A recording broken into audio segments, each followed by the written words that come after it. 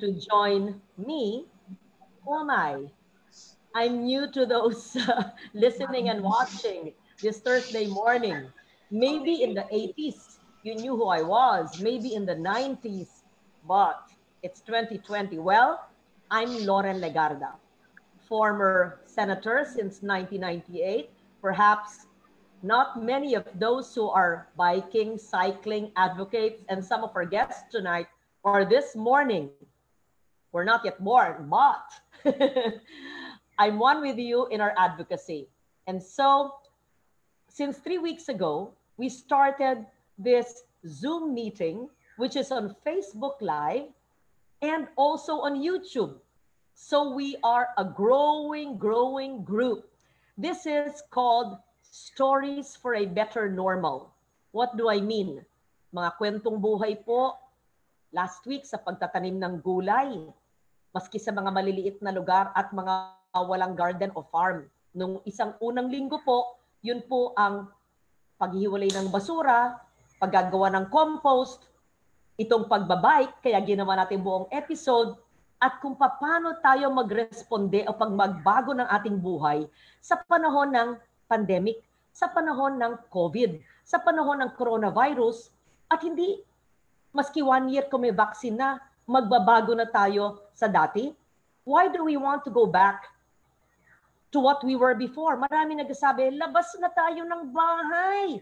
Wala nang ECQ. Mawawala na ang GCQ. Balik na sa dati. Hindi po. Kaya tinawag namin ang programa, hindi lang new norm, the better normal. Anong ibig sabihin nito? Gusto ba na ho natin bumalik sa dating normal? Ano ba ang dating normal? Hanggang ngayon, maruruming ilog, nagtatapo ng plastik at ng dumi sa ating karagatan. Maruming hangin, bumubuga ang mga public at private transport ng maruming hangin na pumapasok sa baga walang makain at napaka-cramp ang ating mga syudad. At ang ating mga commuters, yung mga walang kotse, nagpipila ng ilang oras bago pumasok sa kanilang mga opisina at tanggapan. Marami pang iba. Yun pa ang gusto nating balikan? Ako hindi. At sigurado ako, lahat ng kasama natin ngayong umaga to ayaw bumalik sa dating normal. Ni isang nilalang nakilala ko walang gustong bumalik sa dating normal. Dahil po, yung dating normal ay hindi normal.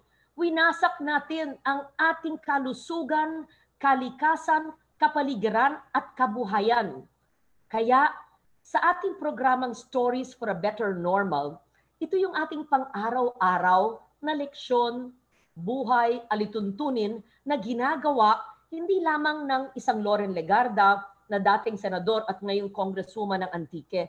Hindi lamang yung mga eksperto at scientists at yung mga uh, nasa taas ng liderato. But these are people on the ground who will share with us not just their advocacy, it's not all talk, pero yung ganilang ginagawa. I'm so happy that we are partnering first with the Mother Earth Foundation, my partner in ecological solid waste management the segregation of waste at source, recycling, and composting. Partner din natin dito ang Climate Change Commission na siyang nagtuturo sa bawat ahensya ng gobyerno and local government kung paano maging climate friendly, kung paano magiging akma ang ating kabuhayan sa bagyo, sa tag-init, sa may infectious disease, sa may dengue, sa mayroong COVID-19 at marami pang iba. Partner din natin yung Institute of Climate and Sustainable Cities. Importante na ang institute na ito yung pagtuturo sa mga syudad, sa buong Metro Manila, sa Cebu City, sa iba't ibang mga syudad. At hindi lang kailangan declared city in every local government, maging climate adaptive at maging sustainable. These are buzzwords, these are terms na maaring hindi maintindihan ng lahat. Kaya sa araw na ito, we will try to speak in the simplest terms possible and have pictures and Red Constantino of the Institute of Climate and Sustainable Cities will be co-hosting and attorney Ipat Luna who is by Taal Lake. Nakakaingit ka, Ipat. Ini-imagine ko na lang tong aking lake wala naman akong lake dito.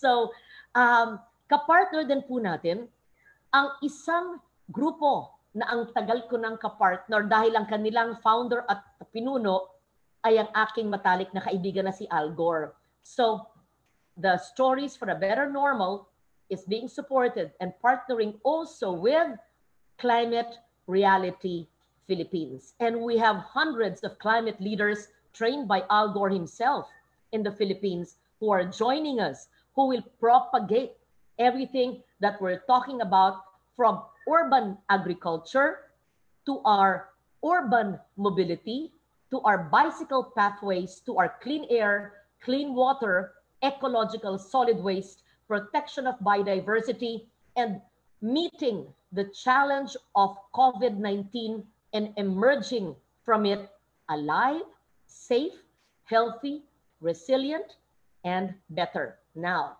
I read, How are you today? I see all your books.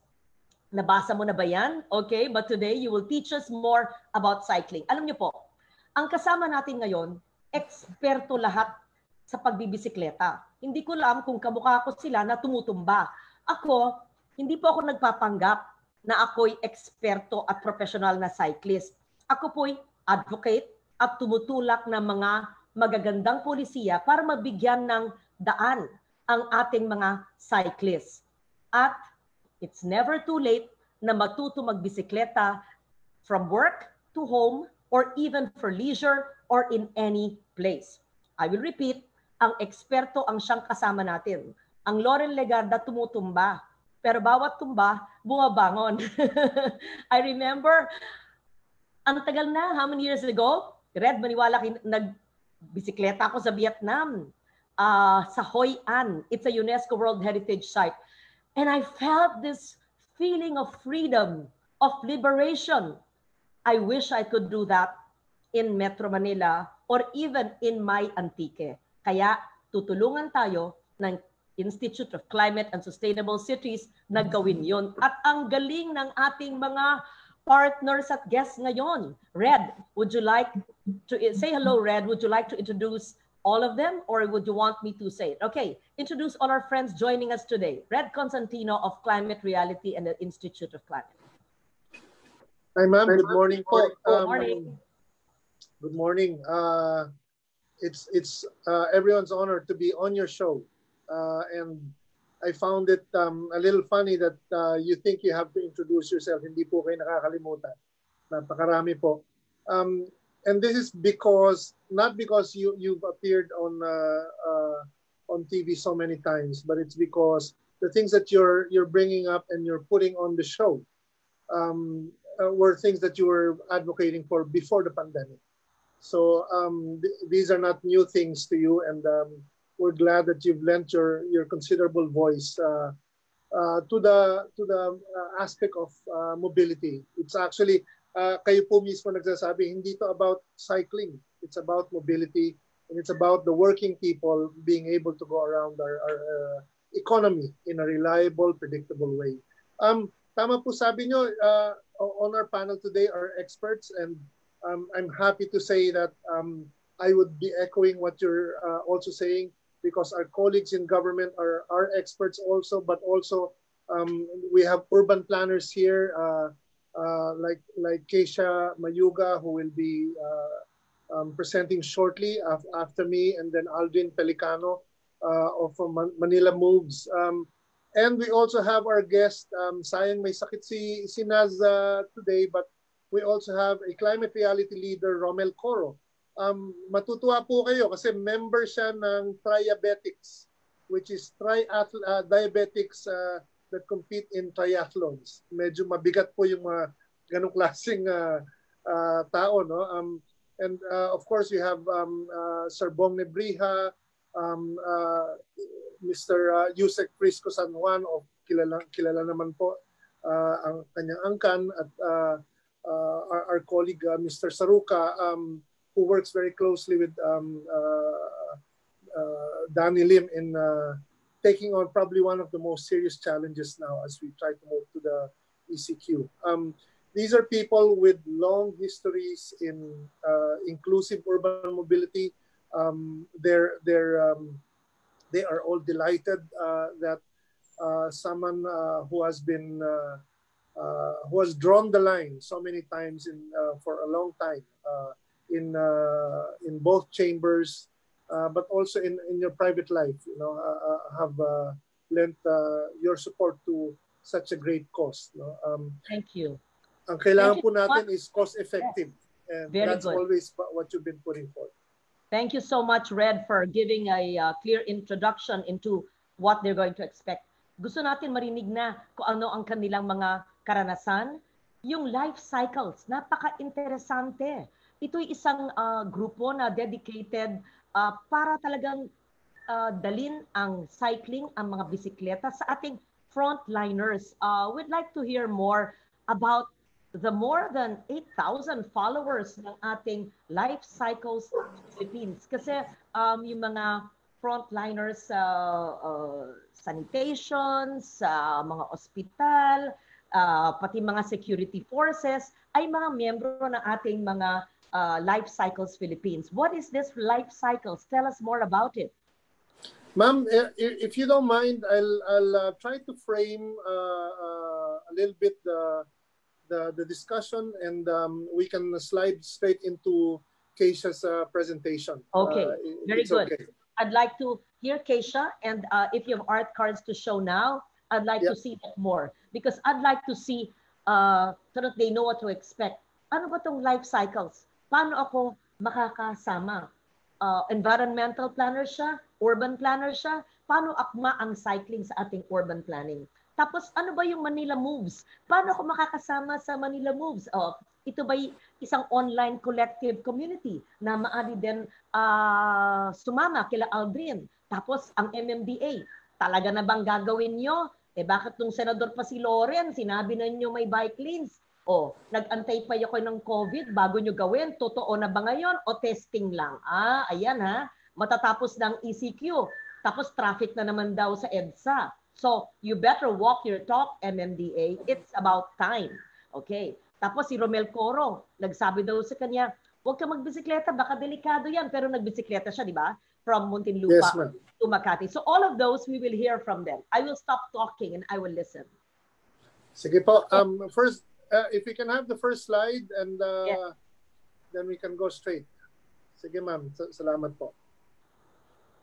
Okay. So um, I'm uh, my name is Red Constantino, as uh, Deputy Speaker Lauren Ligarda has introduced. Um, I'm also a cyclist. I cycle to work uh, as much as I can, and our work is really all about fair climate policy and low carbon development. Most importantly, our work on the climate crisis um, is uh, follows the same mode uh, uh, that um, by which we approach this current issue so, uh, the first question, probably one of the more important questions to ask is, you may have a lot of advocacies, but what is it that you can do that that can help government? What is it that is meaningful to the work that government is doing right now? Because at the moment, kailangan tulong-tulong, and um, government should not be uh, confronting this issue on its own when we citizens can also contribute uh, to, to the entire effort. Next slide po. Um, uh, if you've been paying attention to uh, the news lately, you, you would realize uh, a number of problems are going to crop up even as we're trying to ease uh, the lockdown uh, restrictions. Um, uh, very basic po, before the ECQ, um, almost a great majority of um, our households, they, they cannot afford cars. No? um, even before the ECQ, many times you hear people nagtatanong, eh, hindi naman lahat ay marunong magbisikleta. Pero meron din uh, kasabihan na hindi rin lahat ay marunong magmaneho. In fact, a very tiny minority of households actually can afford uh, private uh, cars or private vehicles. We also know that traffic congestion is pretty pretty serious. No? Um, 71% uh, ang, ang, ang last count uh, uh, of the congestion levels in Metro Manila last year. And we spend um, an estimated 257 hours in traffic. Um, in a well-functioning economy, um, traffic should be the concern only of uh, private motorists, yung mga may kaya. Pero kung nahirapan din tayo sa ating uh, public transport options, it becomes even harder. You'll see the statistics statistics are very clear, no? Um, only um, uh, 3% uh, upwards uh, uh, of our our uh, EDSA lanes are, are taken up by buses. A great majority are, are by cars, 65.6%. Uh, a little uh, lower yung mga motorsiklo. Yung mass public transport um, is not as enjoyed uh, in terms of our, our roads, especially in EDSA. Our colleagues in um, DOTR, working closely with our IATF and MMDA, have also projected um, uh, a number of figures. Ano? Um, of course, there's a big debate right now because the position is to continue or to sustain the ban of buses and, uh, and jeepneys. Um, but even if we assume that earlier projections, 50% uh, uh, reduction of passenger capacity for jeepneys, public utility vehicles, and buses, kahit na i-lift yung, yung uh, uh, restriction na yun, um, in order to enforce the safety standards of government, which is correct, no? because they're looking after the safety of our citizens, they expect a reduction of 88% in passenger capacity for LRT1, 90% for LRT2, 87% ang reduction of passenger capacity sa MRT3 and PNR is 80%. Parang ang laki-laki and it sometimes at first glance it feels unreasonable. Uh, sobrang laki naman na i-reduce. But you have to think of the entire range. Pag inisip natin ng isang wagon ng, ng MRT um, at in, in-assume natin yung Sardinas standing room status. Um, and from there, you go to one empty seat in between passengers. Uh, medyo thinkable na po yung 88%. In this situation, we expect that uh, commuters uh, and pedestrians who represent the great majority of the urban population, hindi lang doble ang kanilang waiting times. Mas tatagal palalo um, now is when um, I think uh, government really needs to consider aggressively setting up pop-up bike lanes, yung madaling ilipat as we try to learn more which routes are going to be the most effective para it feeds our own public mass uh, transport systems, hindi lang sa rail, kundi pati sa bus and jeepneys and public utility vehicles. We actually are of the position that um, we shouldn't ban uh, the buses uh, in fact, ang dapat i-reduce ay yung private motorists because the public uh, commuters are represent the great majority. And again, um, kung saan kami makakatulong, lalo na uh, that message goes to USEC uh, San Juan of MMDA um, uh, with the inspired leadership of uh, Danny Lim, um, we will try to do what we can. No? Um, by cycling, uh, taking up cycling as an option, um, we, we do a lot of great uh, good for, for the country. Um, next slide po. In terms of climate um, impacts, um, uh, yung co-benefits niya are, are obvious. Ano? Um, and, and when we suggest cycling to work as a mainstream essential uh, service and option, uh, it, it's not because of climate. It's because it's good for the economy. It's good in terms of less fuel uh, uh and less fuel used, uh, less imports, uh, better air quality, better health of workers. Co-benefit niya, may contribution din tayo, by the way, to the climate.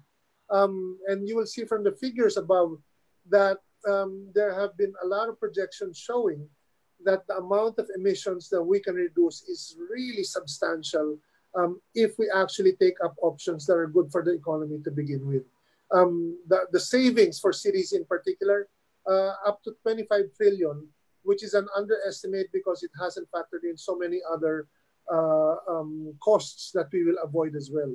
It all makes sense. Of course, mahirap yan kasi hindi pwedeng sabihin lang sa pamahalaan and it's a little irresponsible to just say, master plan ka agad-agad.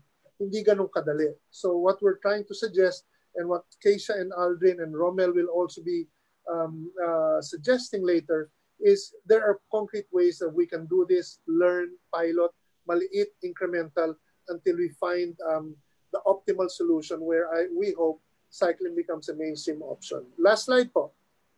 It's just a snapshot. Aldrin will uh, will uh, of Manila Moves will show you later the study that uh, we did with with Aldrin and the University of Twente, um, showing how practical uh, bike lanes uh, can be. Um, from the surveys, ang pinaka priority of those surveyed, uh, and they're they're pretty pretty uh, a big figure, no, uh, of people, cyclists and non-cyclists were interviewed. Everyone wants interconnected bike lanes as a priority. Safety, of course, but interconnection will be really critical. But I leave that to uh, Aldrin to explain more later. And uh, I ask uh, Keisha, um, uh, if you can turn to the next slide. Um, Keisha, if you can introduce yourself briefly and uh, tell us more uh, about uh, what Life Cycles has done. Um, Congressman uh, Ligarda is really waiting to hear more about your work. Keisha, over to you. Hi, Sige. Keisha. Ang ganda ng picture niya. Teka, Keisha, ang ganda-ganda naman yan. Saan yan? Where is that? That's just in Quezon City. Wag, wag, mo- teka, wag mo sabihin just. It is proudly in Quezon City. Ayan. Yeah. It's Environmental planner ka at saka ikaw ay avid cyclist. Gusto malaman namin what are the real stories, inside stories, your stories for a better normal of frontliners na nakumbinsi mo or kasama sa 8,000 followers mo na nagbibisikleta to work, especially during COVID. Ayan. Okay, we hear from you, Kisha Mayuga. Okay. Thank you. Thank you again, um, Congresswoman, for having me here. Um, again, I'm an environmental, I'm Keisha. I'm an environmental planner and avid cyclist.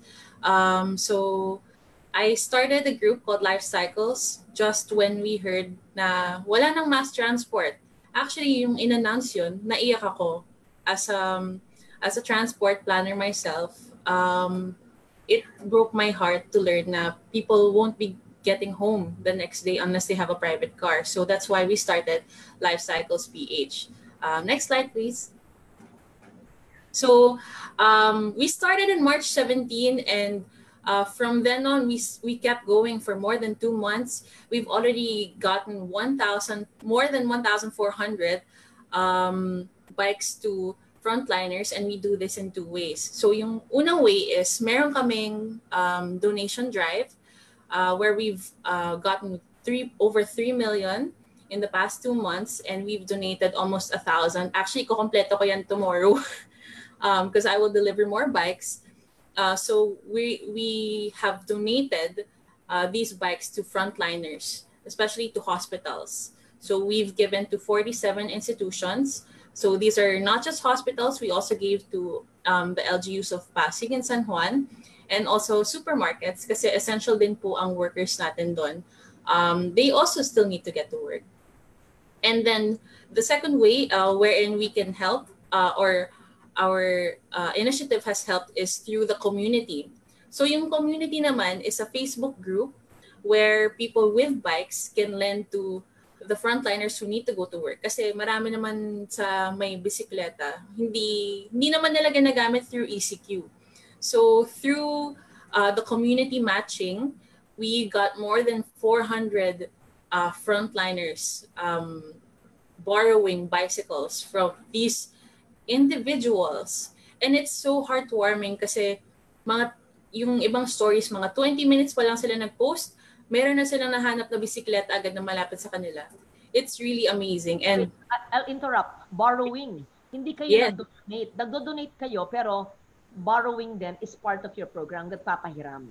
Yes. So, uh, meron kaming donation that's from Life Cycles itself. And then yung borrowing, we set up a community where people can post doon kung nagpapahiram sila ng bisikleta at kung nasan sila. And yung mga manghihiram din, they can post there na, um, I'm borrowing and I'm in this area. Meron bang tao dito in this area? So, from that initiative, Sinusoli yun ah. Sinusoli. Um, yes, actually, may mga iba na nagsasoli na and then may mga iba na um, pinapahiram pa rin kasi sobrang hirap um, ngayon na walang public transport kahit ngayon sa MECQ and up to GCQ. Ah, so may mga ibang nababalik and may mga iba na bumibili na after sila makahiram. So um, na-realize nila na ma- malaking magandang investment talaga ang bike. Um, hindi lang hindi lang siya pang um, sports, hindi lang siya for recreation, pero it's something to get them to work and home. Okay, continue. Ayan, yung EDSA evolution mo. yes, so after naman bigyan natin ng mga bisikleta yung yung frontliners, kailangan naman going safe para sa kanila. So, um, kaya na-start din tong initiative called the EDSA Evolution. Uh, why EDSA? Kasi um, main thoroughfare siya. Pag ginugol natin um, yung EDSA, di ba, it's so ridden with traffic, but we want to change that mindset into something that's bike friendly. That's why we started with uh, the trial test of EDSA Evolution from Bonnie Serrano, uh, from White Plains Avenue to Bonnie Serrano Avenue. So yung yung movement na to actually um, inspired other LGUs to put up their own bike lanes, a bike pop-up bike lanes. So in the next few days, makikita natin, um, and we're coordinating with them, uh, hopefully in time for World Bicycle Day on June 3. So since wala tayong mass ride, since we have to um, observe social distancing, the way to celebrate is maybe to put up pop-up bike lanes around the city. So, i-clarify mo lang, although naintindihan ko, pop-up bike lanes. Ayan, yung mga yes. biglaan, yung mga innovated for the day, ganun ibig mo sabihin. Yes, yung pop-up bike lane is actually employed sa other cities then. Um, it's meant to be, to see na, um, to answer for a temporary time lang. Um, but hopefully with these pop-ups, um, maging mas permanent siya to see na marami naman talaga nabibisikleta so why don't we make it a little bit more permanent? But while we're waiting for more permanent structures, we still have to keep our frontliners safe. Kasi kahit kung mas maganda na nga na may cones ngayon kesa na wala at the moment. Okay, so mas safe. Continue. Yeah. So um, hopefully by next week on World Bicycle Day on June 3, more cities will follow suit um, with the, these pop-ups. Kasi alam ko yung planning process. I'm an urban planner myself. It will take a while. But while that is not, it's not yet um, happening or ipaplano pa siya, it's good to put up these pop-ups kasi nan, nandyan na yung mga frontliners natin na nagbibisikleta na sila ngayon sa streets. And ayaw natin na maghintay na may madisgrasya na naman na frontliner dahil um, natamaan sila ng kotse at gusto lang naman nilang um, gawin is makarating sa bahay. So, okay. So, yeah. We go to next slide. Yeah. Do we have a next slide? Um, I think. Thank you. That's it. Uh, yeah. uh, yung, yung inyong organization, uh, nakatulong na kayo sa mga uh, nagkatrabaho sa supermarket, sa mga ospital, uh, and you've had donations that you give to them free bicycles, right? And then yes. naghihiraman din from the Facebook. Oo. Ano yung mga challenges o dangers o risks na sa tingin mo dapat i-address, nakikinig kayo ng MMDA o ako as lawmaker under my new norm bill, renamed as a better normal bill, uh, while I will already present it today, uh, I hope that I will address the concerns of the bikers or the cyclists or urban uh, sustainable urban mobility. I know that Red already put in his comments on my bill. Ipatingin din natin kay Aldrin, kay Kisha, kay Romel, at sa MMDA, then there's still the period of committee amendments and individual amendments. And I hope that the whole cycling community will have uh, complete set provisions uh, to address your concerns. So just one, uh, Kisha, uh, give us a little heartwarming story or uh, itong sa panahon ng two months ng ECQ, ano ang mga nadiskubre mo uh, sa mga Pilipino, lalo na sa pag-innovate sa paggamit ng mga bisikleta? Um, naalala ko talaga yung isa sa mga una naming nabigyan in the medical city, si April Katindig. Um, dati siyang nagje-jeepney um, at umaabot siya mga dalawang oras galing um, Antipolo papuntang um, papuntang Pasig. Pero nung nawalan ng mass transport, um, trinay na maglakad. Pero nung nag, nakapag-donate kami, yung lakad niya na tatlo, apat na oras, naging uh, less than an hour na ride na, na lang. So, dahil... And from Antipolo to Quezon City. Wala pang bike lane doon.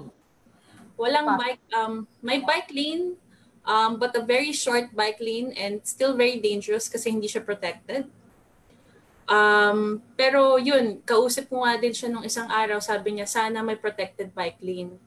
Kasi maraming maraming frontliners din um, yung shift nila sobrang aga or sobrang um, late sa gabi at nakakatakot nga, man, nga naman na may dumadaan na kotse. Tapos pag hindi ka nakita ng kotse, kasalanan pa ng siklista, no? Pero um, kaya makakatulong talaga ang mga pop-up or yung mga protected bike lanes. Kasi hindi lang naman si April yung nagbibisikleta, pero libo-libo na. 1,000 pa lang yung nabigay namin. But um, okay. I'm sure there are more. So it's very clear, hindi lang Metro Manila ang kailangan natin.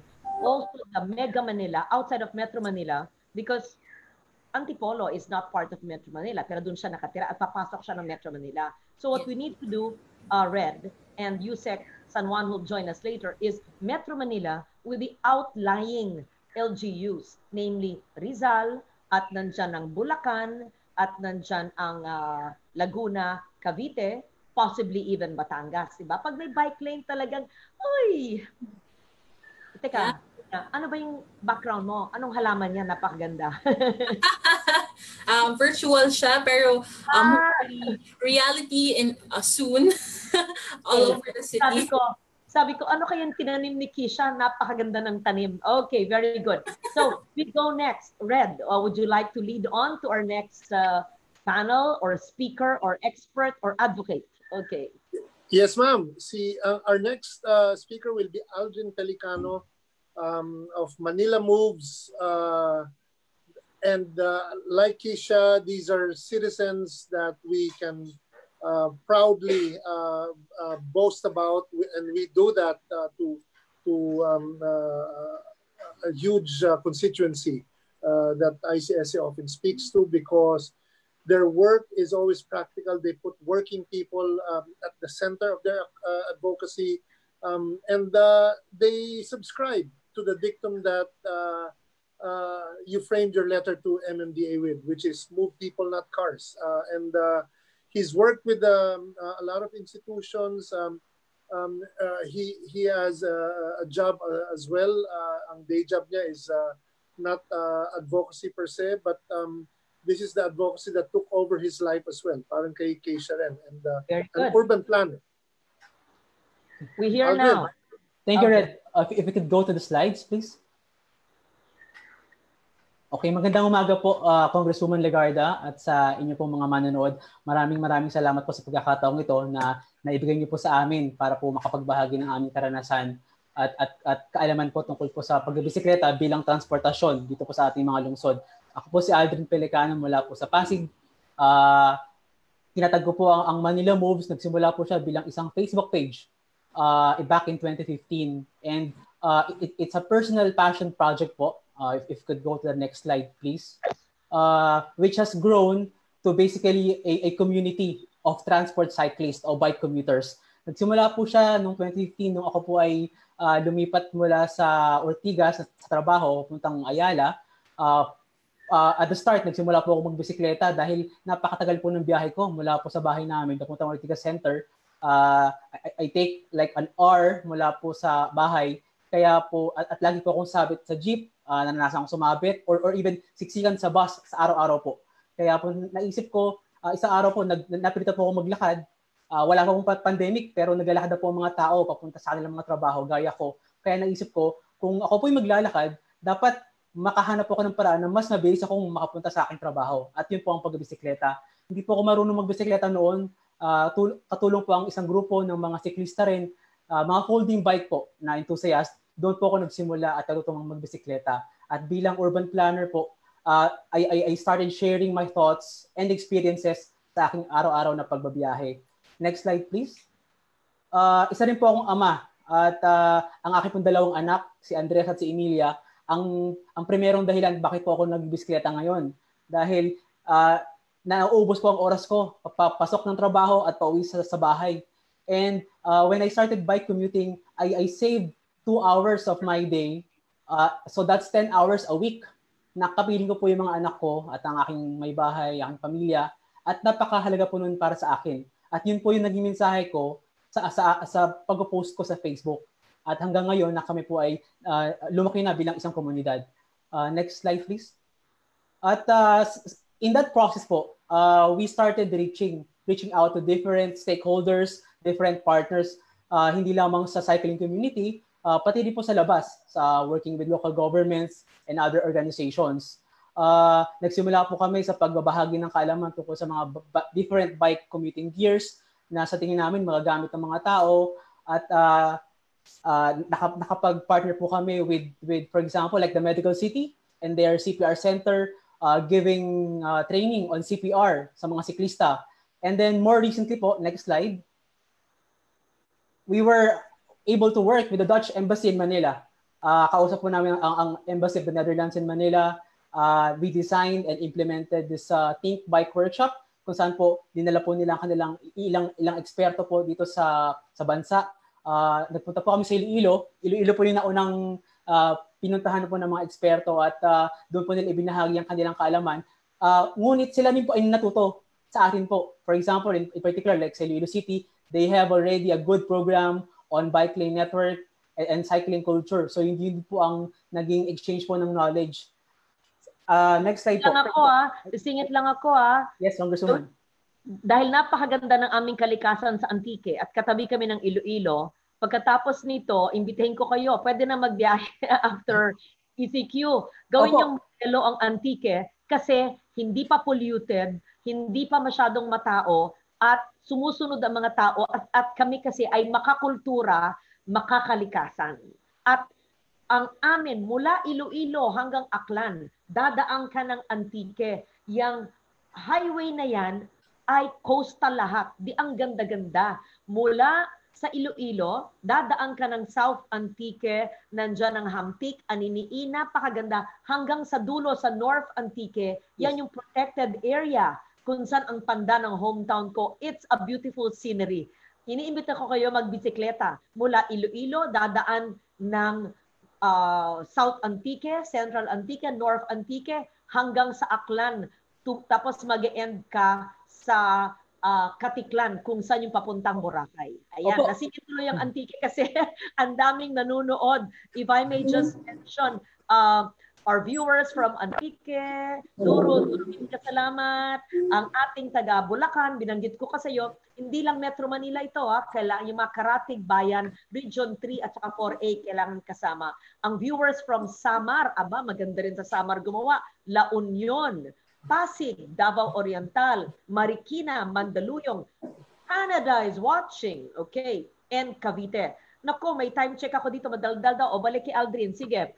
Aldrin, teka, magkano bang isang pinakamurang doable ng bisikleta?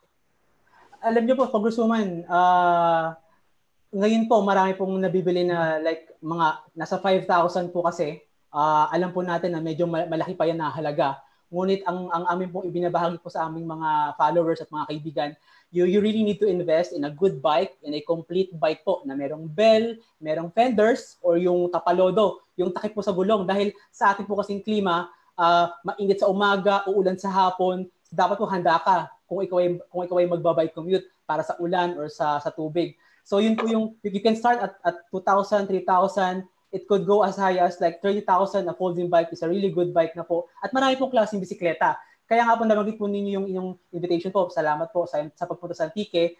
Napaka, isa pong uh, grupo po within the cycling community are what they call bike packers or bike tourers. Uh, marami po sila na pumapasyal po sa mga is, sa mga island po natin, kagaya po, kagaya po ng Panay.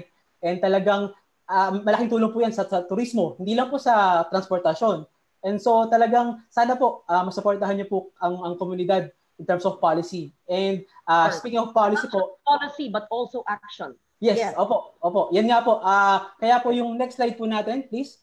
Okay, next uh, slide. Katuwang po namin ng ang Institute for Climate and Sustainable Cities nila Red. Uh, nag nag-conduct po kami ng ng survey uh, back in December and we asked uh, more than 400 cyclists na po, bike commuters themselves na po, uh, uh, the previous slide po. Uh, and, and, and the result of this survey po, we call it Better by Bicycle, uh, Metro Manila Bike Lane Network, uh, only confirmed what or what we already have are seeing every day po sa aming bisikleta. Now, in absence of policy and and infrastructure for for bike for for bike commuters, marami na po nagbibisikleta.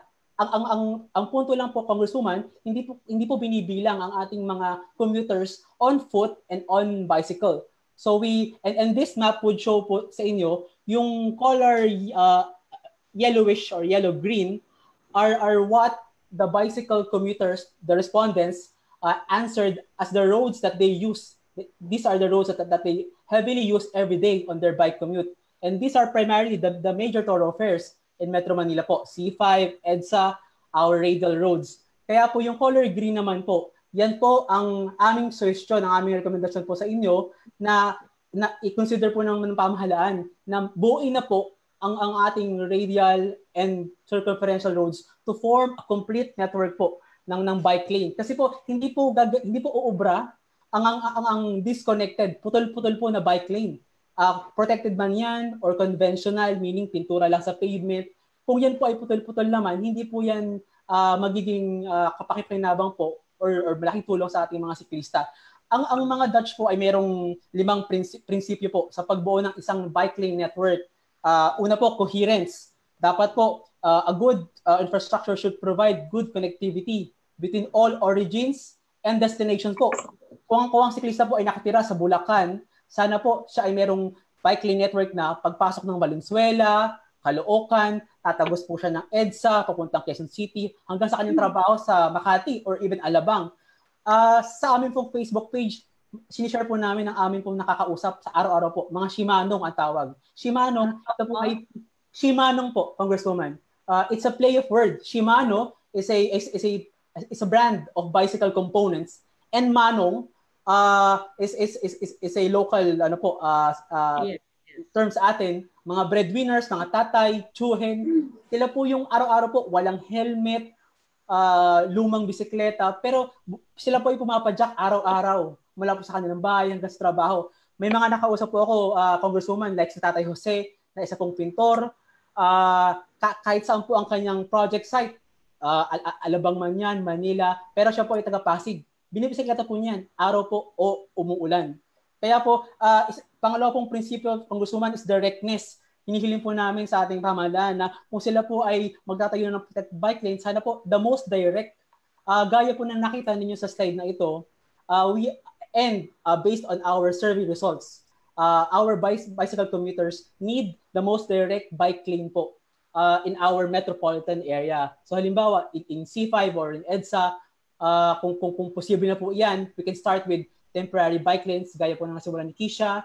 And then, by using temporary bike lanes, pop-up bike lanes, we can test, we can build, and we can learn from these uh, temporary infrastructures that, that MMDA, that the DPWH, and the DOTR can eventually make permanent po post-ECQ. So yun po yung aming hinihiling at, at, at uh, ipinapaalam po sa inyo. Gaya po for example ng mga businesses, gaya po ng Mega World, uh, sa kanilang mga estates in Arcovia City along C5. Within their development po, meron na po silang dedicated uh, conventional bike lane. Pininturahan na po nila ang kanilang mga uh, street with bike lane with clear markings on the pavement.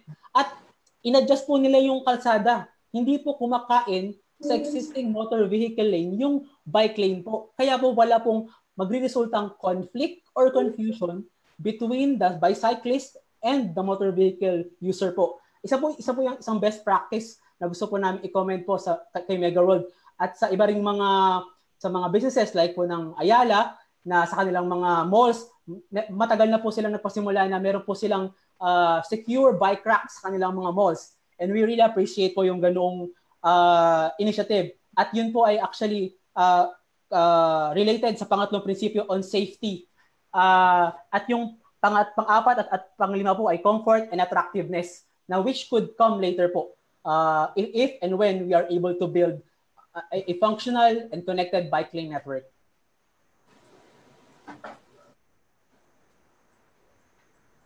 Oh, are you there? Yes po. Yes. Ah, po. Okay. Uh, can you give us all your slides so we can post it on, on Facebook permanently? Because the presentation of Kisha and your presentation uh, and, and Red's as well is very well researched. And I'm sure those who are joining us now, but those who can uh, join us later and, and, and study all of that. And important that it's no longer a dream, Aldrin, Kisha, Romel, Red. The MMDA is there. MMDA. You are funded by government. I've been saying this since before your time. It is not time for Kisha to just dream and to say pop up lang. No, wag nang pop up. Gawin natin permanente na.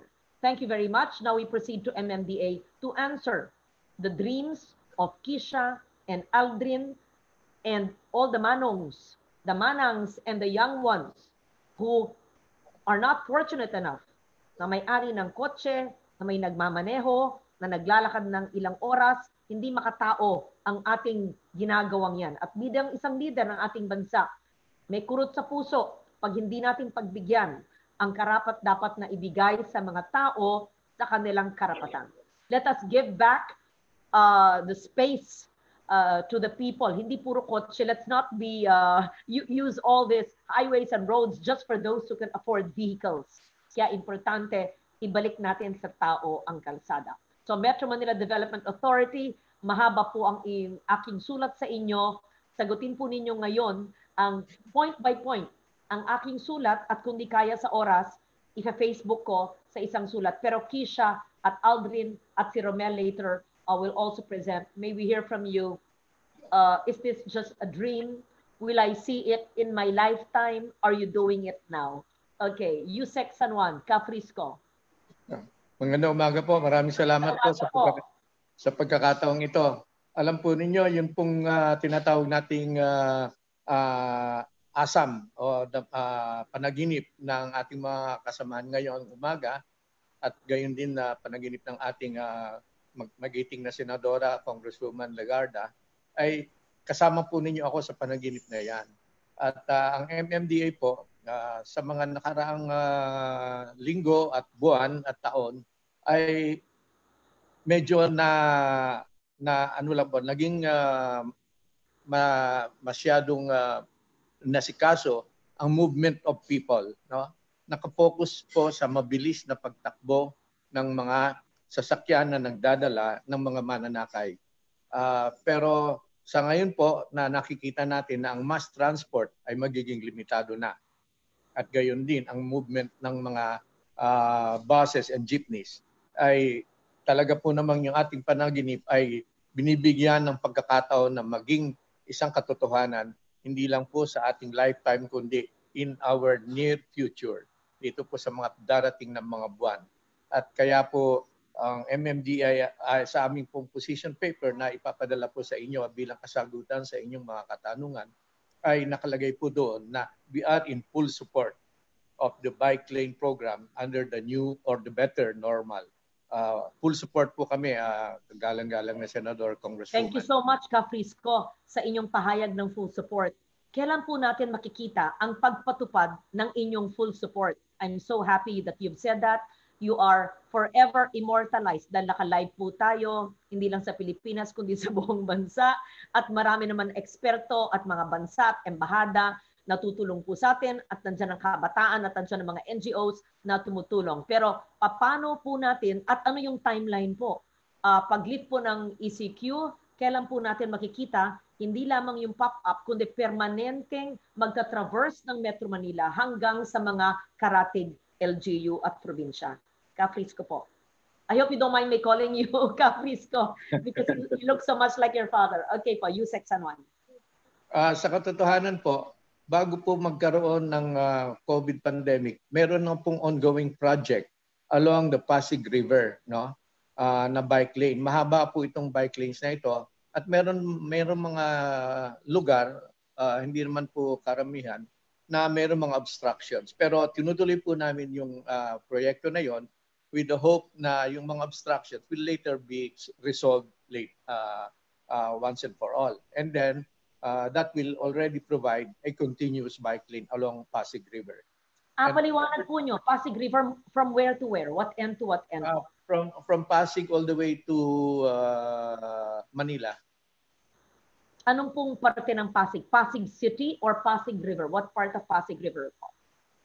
Uh, mag-start po yan uh, sa uh, uh, ano, barangay uh, Urambo Oh, pa, pa, all the way. Pero karamihan po ng Pasig River may patch by patch po na ano.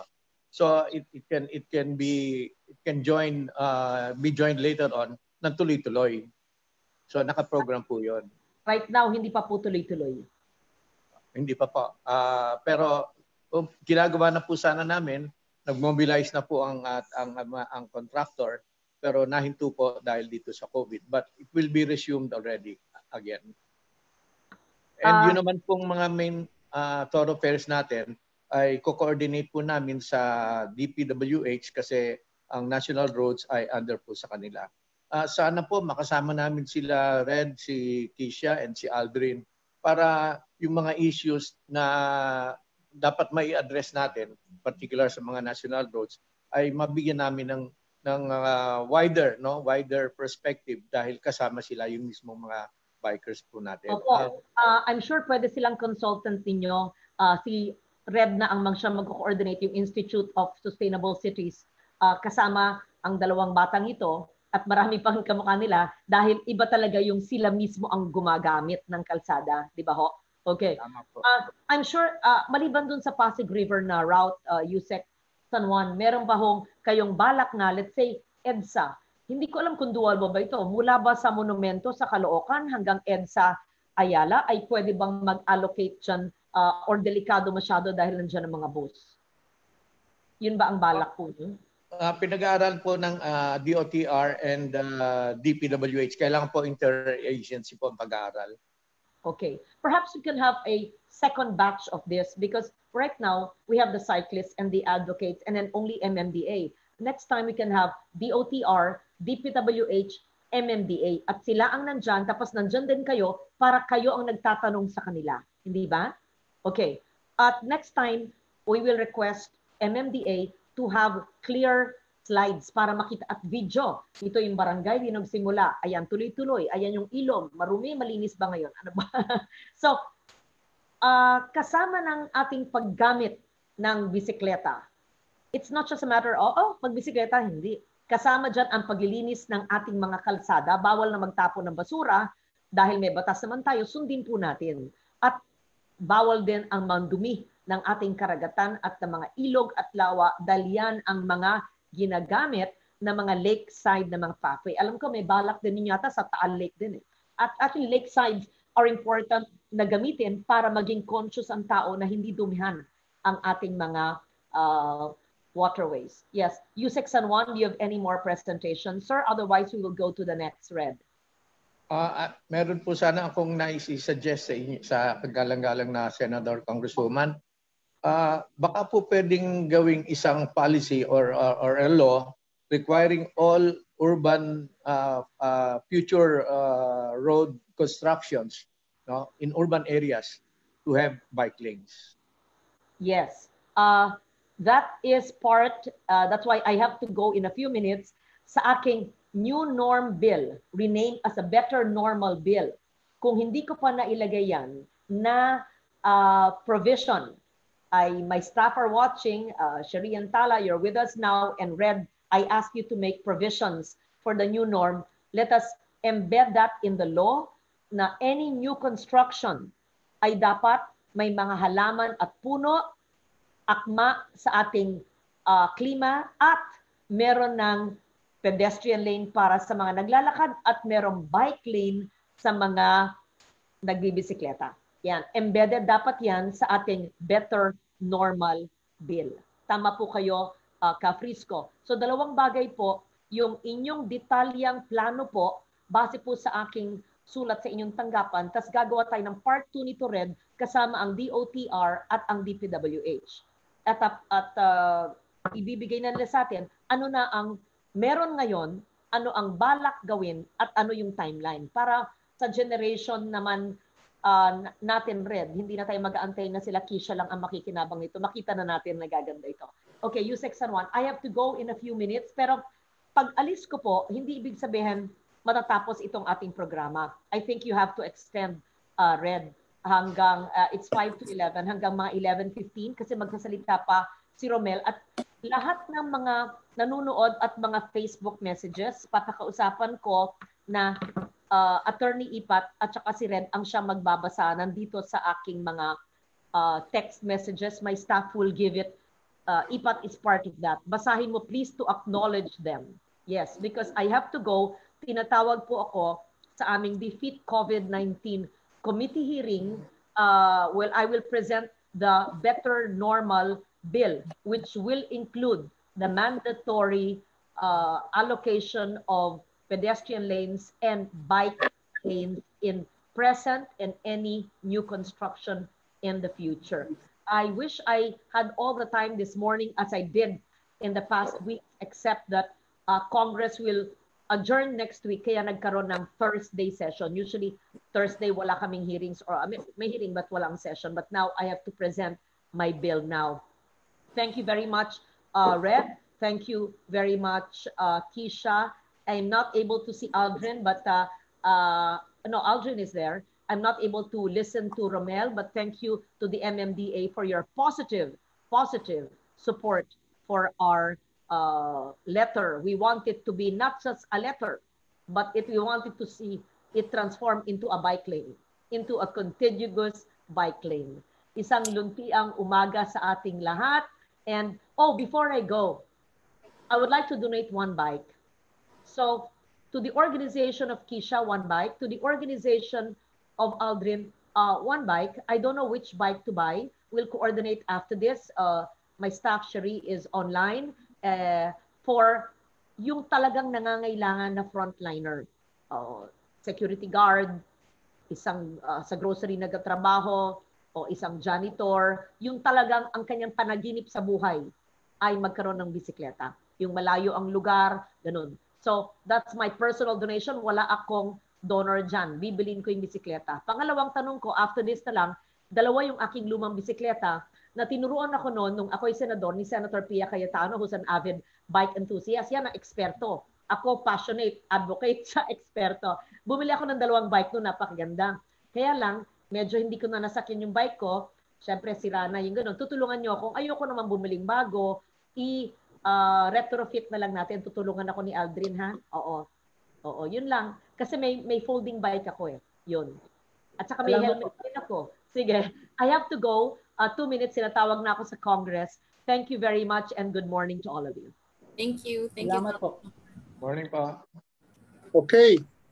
Thank you. Thank you, ma'am. Um, to all the viewers, uh, as uh, as uh, Deputy Speaker Ligarda had said earlier, Um, tutuloy natin to for a few more minutes. Um, alam namin mainit ang, ang uh, diskusyon. Uh, napakarami na nag uh, pumapasok na messages and we'll read them out uh, uh, shortly. Um, alam niyo naman na uh, sabay-sabay ang suot na sombrero ni um, uh, Senator Legarda. Uh, so uh, she still found time. No? Um, uh, dapat uh, today she she was supposed to be focused on the bill but uh, as you also know inintegrate niya yung uh, cycling uh, sa kanyang legislative initiative.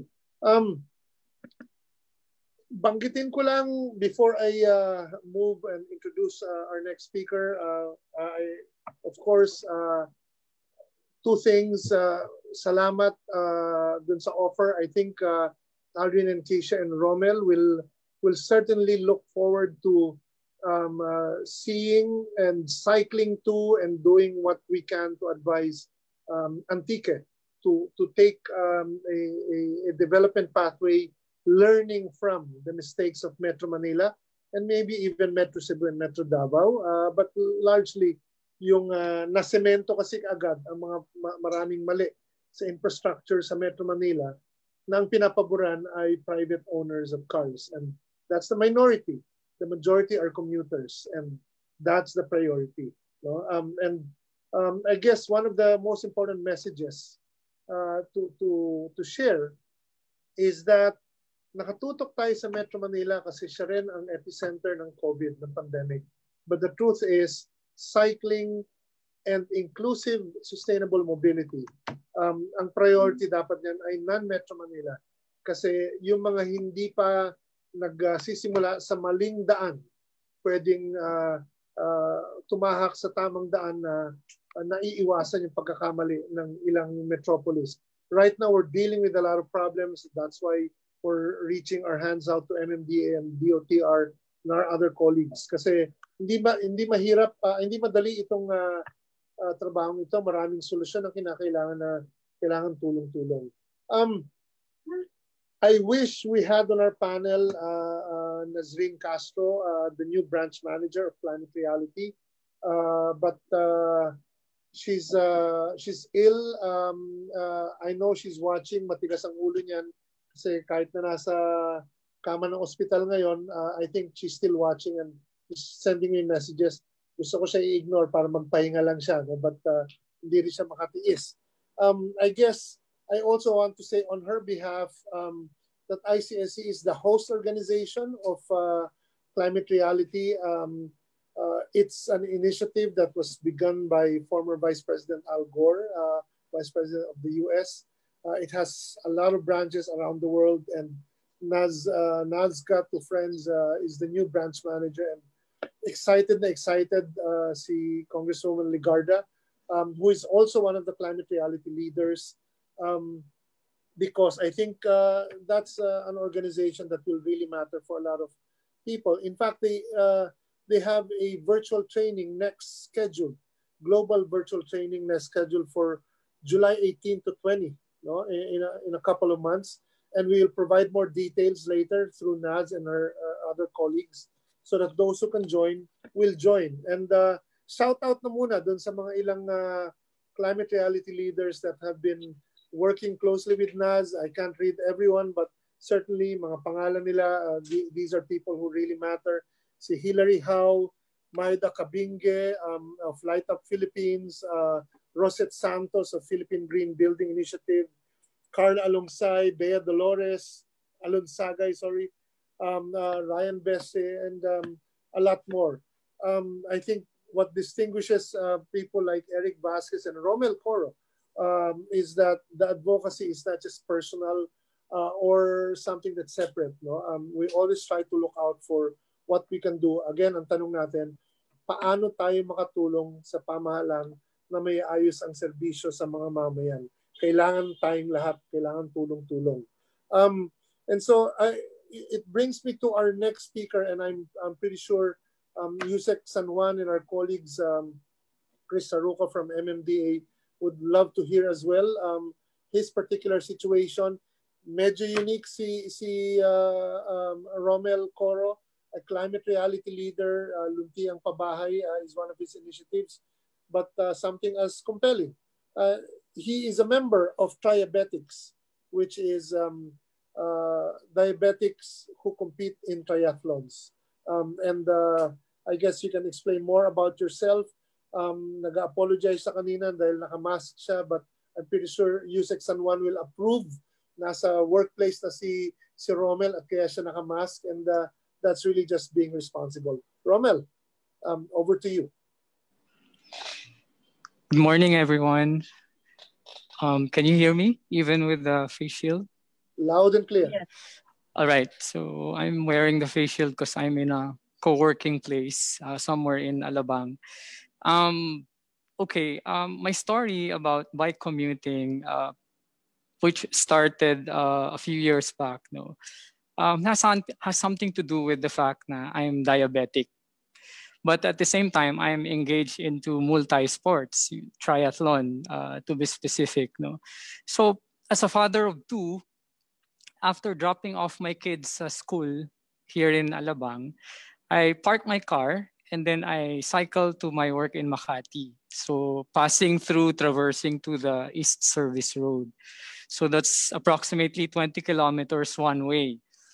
Um, what are the benefits of uh, cycling to work? For one, I was able to integrate my multi-sport training uh, because I bike every day, Monday to Friday, 40 kilometers a day. That's 200 kilometers a week. Uh, second, I save on fuel I save on Skyway toll fees. I save on parking fees in Makati. You know how it is in Makati. You only have four hours maximum to park. And then what we do when we bring our cars, we leave the parking and then enter the parking again. Otherwise, uh, the, the, the parking fees will be restrictive. Uh, and then, of course, I wouldn't worry about uh, uh, parking my bike in our office because the office is more or less friendly, you know. But not all office would have that, you know, kind of uh, benefit for all those who bike to work. So technically, my daily commute to Makati is actually uh, started as it started with me as an individual and along the days along the months no that I cycled to work I was able to befriend a lot of people who cycle to work as well some are living as far as Pinyan Laguna and they cycle all the way to uh, to Ortigas and I mean it's safer to cycle uh, with a pack than by yourself, no? especially when you're doing urban commute. So, so practically, when we started to, when I started to cycle, I engaged with people along the way. And to my surprise, we were a growing number of cyclists or bike commuters to work uh, until you know I was able to uh, form this bond of friendship among among the bike commuters to work from far-flung areas as well outside of Metro Manila. So it was like, you know, being safe and secure in the early morning rush because I cycle around 7 in the morning. It takes me about 35 minutes to arrive to my office. No, that's my my leisurely pedal and then in the evening i cycle around uh, 5 5.30 in the afternoon sometimes 6 o'clock so it was challenging because i was biking to work uh, at the peak of pollution i think i remember there are some lgus who set up their uh, there's there's a board indicating the part per minute pollution index during the time so i'm able to monitor you know how huge and challenging the the the pollution during the time that I bike to work. And then of course, uh, since I'm building a lot of stamina and resistance, being a diabetic myself, no, uh, of course I was able to manage my diabetes, no, uh, and then of course I have no problem uh, training for races in triathlon because I have the saddle hours, so to speak, no. So during those times, but after a while, no, of course, uh, I was challenged with a respiratory illness, uh, and my doctor asked me to minimize my bike commute to work. Uh, matigas ang ulo ko, uh, hindi ka agad-agad sumusunod. Uh, pero because of my recurring cough na dalawang linggo, ayaw huminto, even if I am under medication, I have to slow down. But you know, I was lucky during the time because the P2P bus transport was born. And we have one station in Alabang. So I was able to mix uh, public commute and at the same time biking. Because during the time, and I think until now, I will be the only person who will be riding doon sa sa bus na nakabike no in fact yung if you're familiar with the Volvo buses no uh, I am allowed to put my bike inside the bus kasi wala silang estribo eh sa ilalim.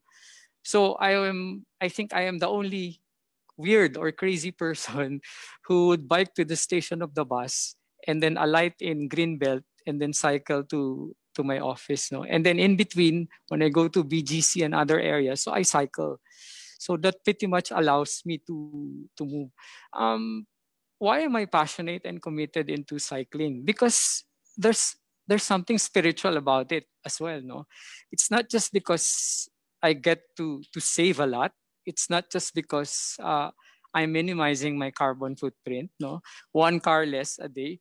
Actually today i have developed a natural abhorrence for being alone in the car especially if i'm using a huge car and then you know uh, nakakakonsensya kasi i'm part of the traffic eh. i'm not part of the solution but when you bike to work or when you cycle to work, it's actually allowing you a certain degree of freedom where most people are not experiencing while they are inside the public transport or inside their cars no i mean i just whiz through around traffic no so it gives me a lot of controlled time uh, and then going back, it takes me about 35 minutes. When I arrive in the school of my kids, no, I still have to wait for them because both of my kids are into uh, sports as well. So I have time to cool down and uh, enjoy more time with my kids instead of you know staying longer in in traffic. So pretty much, uh, even today, I, I still cycle around because I have managed to reduce my work area within my area of residence. At the same time, I have also learned to be a user of uh, electronic kickstart scooters or of which I am a member of the EKSPH. You know, uh, I, I use my e-scooter in between.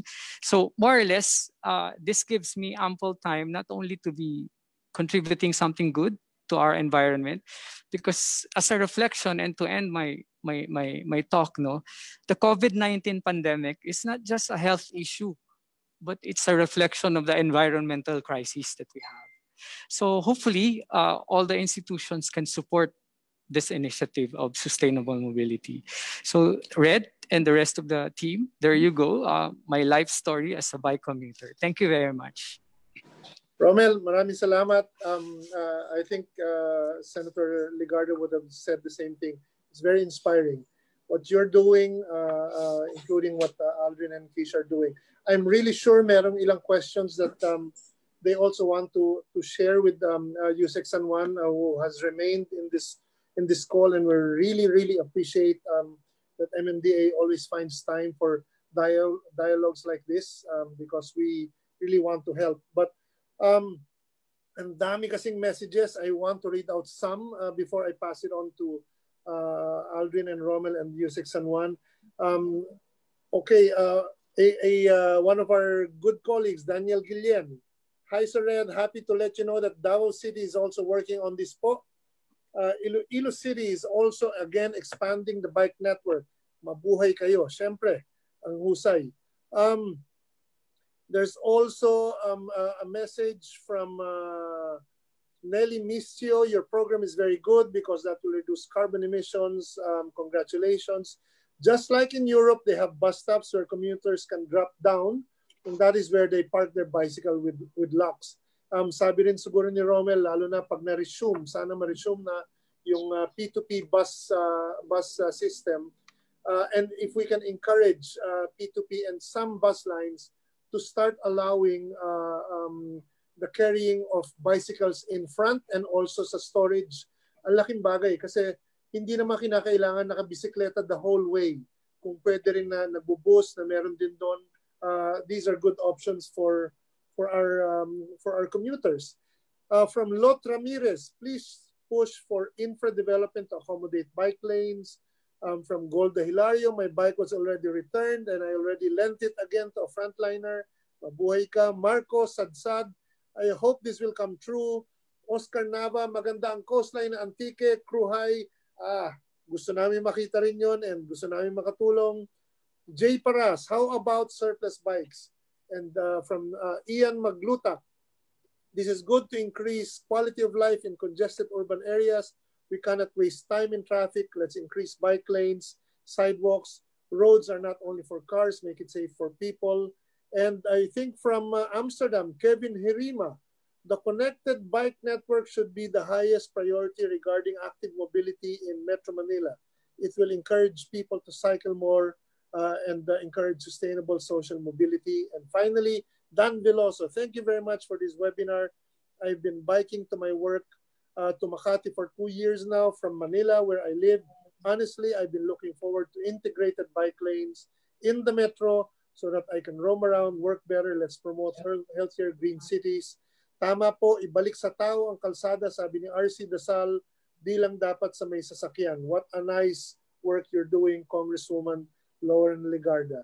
Ang dami-dami po. I think we'll have another episode later so that we can actually be more granular and propositional para may maitutulong na konkreto tayo sa ating mga kasama sa kawani sa gobyerno. But Aldrin and um, Keisha, you may have some questions or things to, to ask or to, to, to say to uh, U6 and 1 and to our other um, valiant members uh, in, uh, in, in government. Businesses are helping as well.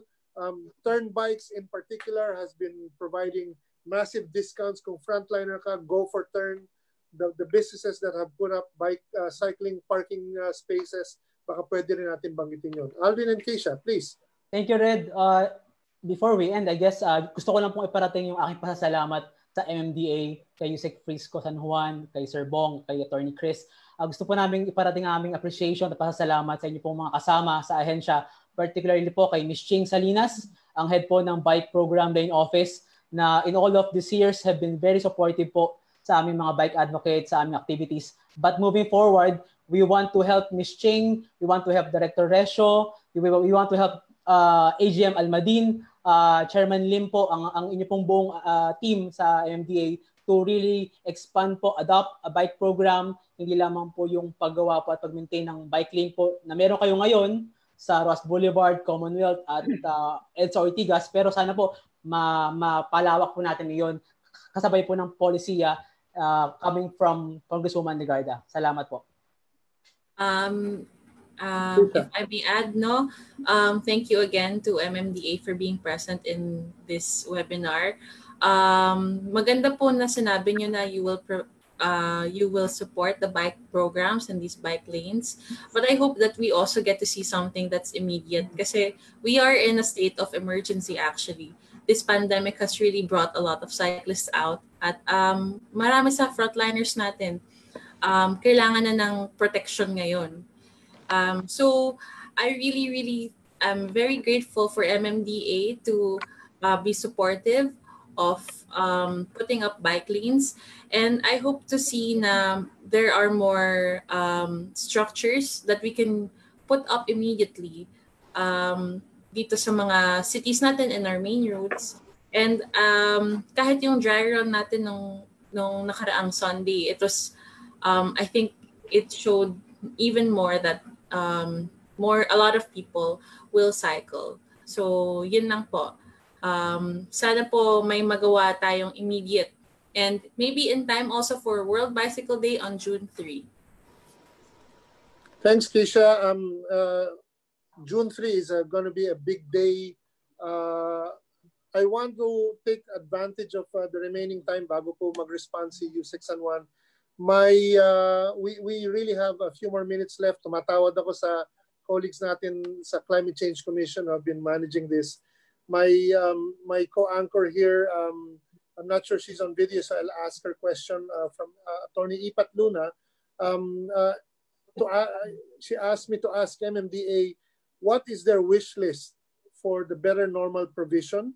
Uh, and um, how do we increase uh, availability and uh, uh, let allow bike shops and manufacturing to flourish the same way tricycles and jeepney hole in the wall garage setups can can uh, can work as well. Um, maybe rephrase ko rin yung tanong, saan po kami pwede makatulong, uh, uh, Sir Frisco? Um, and again, thanks for remaining up to this time in the call. Sir. You have the floor po. Yes, uh, wish list. Uh, sana yung mga main roads natin which are under uh, DO, uh, DP at DPWH at saka DOTR ay mahanapan natin ng uh, uh, immediate solution no, for bike lanes. Uh, we know that uh, these major roads are uh, uh, the ones that are uh, really congested, particularly during rush hours. Sana uh, immediately no, magawa na natin 'yon para uh, mabawasan ng congestion through the use of bikes no? Uh, and more people uh, going through bikes dahil mahirap na yung uh, mass transport no? Well where social distancing is almost almost impossible no? Uh, by the way meron I would like to share something, no? Ang uh, ating ferry service, which we hope uh, to be uh, resumed sooner or later, no? We allow bikes, no, uh, to be uh, carried on board. And uh, our ferry service, automatic merong manifest chance. So may tracing. Uh, tracing will be very easy.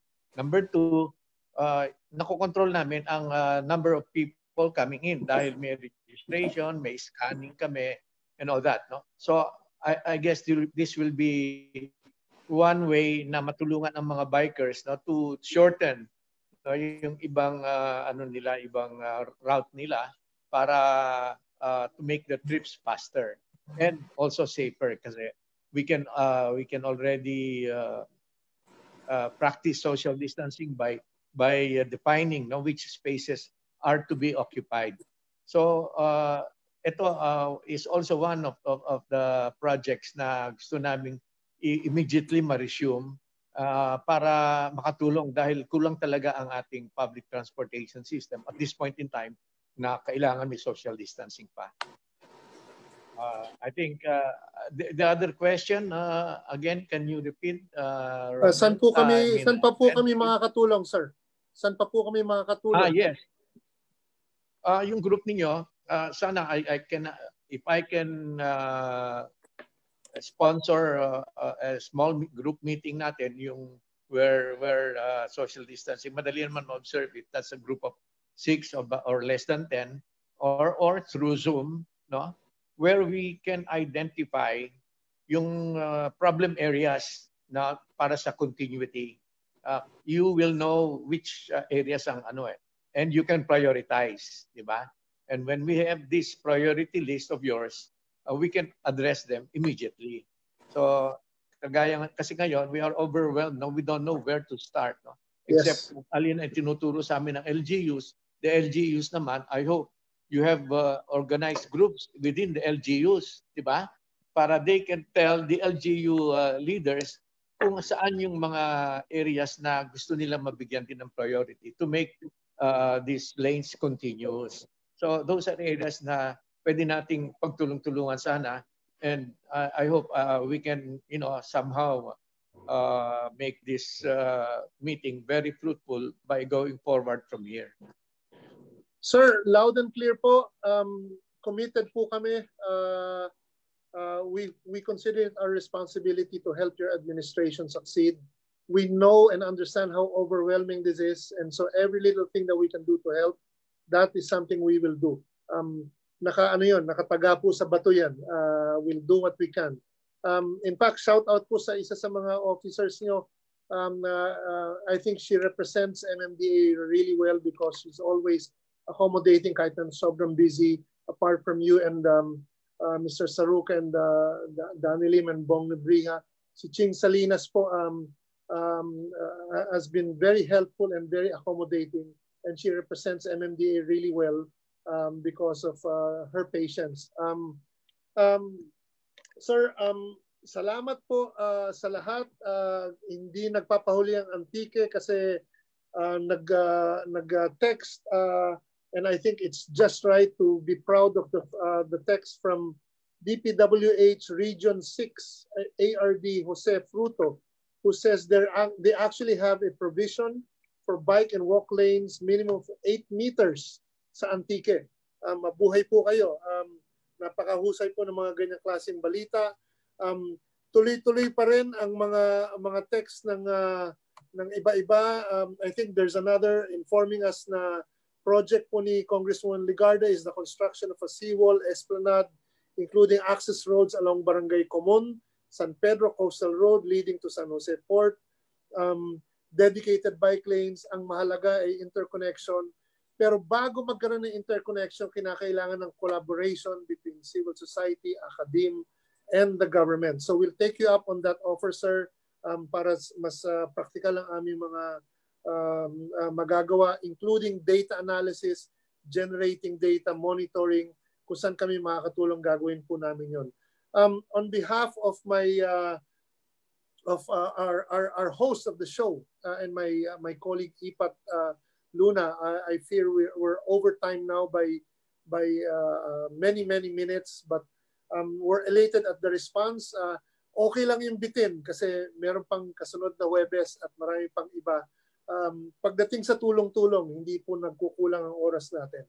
Um, Zoom lang po ito, but in real life, I think um, we need to show that solidarity is does not only happen during the pandemic, and uh, if we can always prioritize the needs of commuters and working people uh, over that of cars and private motorists, um, then government will be even more democratic because ultimately, mobility is a question of democracy and um, the ensuring that those who um, are the majority will enjoy the commons the most. That includes our roads and our streets and highways.